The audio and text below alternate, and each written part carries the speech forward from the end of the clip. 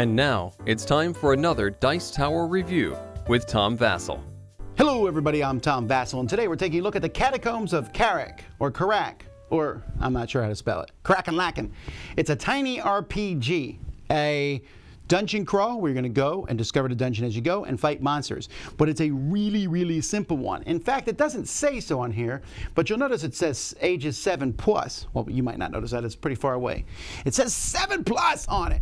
It's for two to five players, 45 minutes. This is definitely, regardless of what they say, this is definitely a kid's game, and I'm reviewing it as such. Let's get started.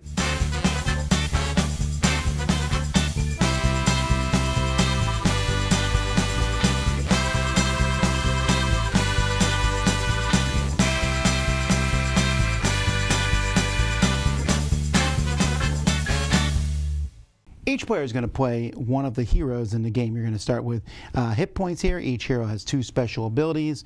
So you can see there are various heroes that are the typical archetypes of heroes uh, in a particular game. You're going to start here the dungeon is going to be just this one tile here with a healing fountain in the middle. On a player's turn, they have four actions that they can do. And usually that's going to be moving as an action. And sometimes when you move, you're, you're going to draw, you're going to go to a new spot. And when you go to a new spot, you might find just a tunnel like this and then you can keep moving. So that'd be the first of my actions. But many times, much of the time, you're going to find a room.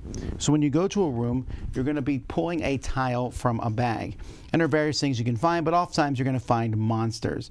When you find a monster, you're going to have to stop and fight that monster, and that's also going to end your turn. When you fight a monster, you're simply going to roll two dice and try to meet or exceed that monster. If you meet it, nothing happens. If you beat it, okay, so let's say I just rolled a seven. I thought I rolled higher than that. Must have been a trick of my imagination. So if then you lose and you retreat one and you flip over one of your health. If you tie, nothing happens. Uh, if you win, you defeat the monster. When you defeat the monster, you turn it over to see what kind of loot it gives you. This one here happens to give me a key. Now, a key is important because every once in a while, from inside, when you pull a tile, you're going to pull a treasure chest. You can't do anything with the treasure chest, but if you have a key, you'll be able to open that treasure chest and keep it for treasure, which is how you're going to win the game. There are many different monsters that are included in the game. So you can see here, there's easy ones like this rat. There's 5, 6, 7, 8, 9, 10, 12, and 15. Sometimes when you kill them, they're going to give you a weapon. This one here, for example, gives me one. That's a plus one added to all my rolls. Uh, this one here gives me a two. Now I'm adding three to all my different rolls.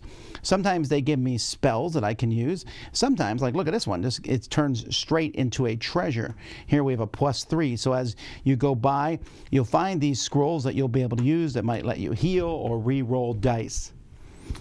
Speaking of healing, if you are completely knocked out, you lose your next turn, and then you simply will heal one health. So if you lose your last life point, then the next turn you simply heal one. Or if you stop on the healing fountain and end your turn there, you can heal everything. There are more healing fountains that can be found over the course of the game. And there's also portals. If you find a portal and another portal, you can go from one to the other. I did mention the special abilities. There's different special abilities that the different characters will have. For example, this one says if you move to a tile that has a monster as your first action, you get plus one. And you can also draw two dials from the bag, choose one and put the other back in the bag. And each of these different characters has different special abilities. So you can imagine that the, the mage here, uh, when you, they use the magic bolt, they don't discard it and they can go through walls. While this character, you can re-roll any one die in combat. And you can force your way past a monster. You lose a health point, but you can keep going so you don't have to fight different monsters. So there's all kinds of cool things that you can do. The game ends when someone beats the boss. The boss is a dragon, 15. Nobody can beat it until you have at least three points of weapons and then you roll a 12. That's probably not going to happen anytime soon. But once a dragon is defeated, at that point, we're going to end the game. And then it comes down to treasure. Uh, when you, uh, whoever has the most treasure gets one, and the dragon's treasure itself is going to be 1.5 treasured. There's a little gem in here. It's kind of a tiebreaker. There's also the curse. Whenever you kill a mummy, you'll be able to curse your opponents, and they, the curse token is given to that person. And when you're cursed, you can't use your hero skills, which is kind of a very negative thing. So you can go to a healing tile to get rid of it, or if you beat a mummy, then the curse tile is passed to them. That's how you play. So I really like the fact that these boards here can easily have tiles in. They're recessed boards, and I really, really like the artwork of these characters. That's a really, I mean, it looks sharp. It's, ah, they just look fantastic. I like the art in this game. I am less impressed with the very, very boring tiles. I mean, this is like 90% of the game is flipping these tiles and seeing them. Maybe they could have put a little bit more effort into them, but eh, that's minor, I suppose. At least the bag is big enough that I can pull from here. And I do like that the monsters are different colors, and it's it's a really simple combat system, so it's easy to see these. And then you're like, ooh, what is it going to be? The rules are also really clear, and they even give backgrounds to different monsters and such. Okay, very, very simple game. You turn things over, you roll dice, you use your special powers. But for kids, this is awesome. They don't need all these complexities. They don't need to figure out what flanking and all that is. They get to roll two six sided dice and add. And as you go through, you get loot and your stuff gets better. That works. You look for keys, you run around. I mean, you're just kind of running around and finding random monsters and fighting them. And normally, I'm, I might not be a big fan of that, but I'm getting tired of dungeon crawlers being overly complex, and there really isn't a big opening for them in the kids' realm. There's very few. I mean, the best one is probably Hero Quest, which is really old at this point and hard to find. This is not as even as complex as Hero Quest, but it's a nice, light, silly game. It says 45 minutes in the box, but it could be faster than that once kids know what they're doing.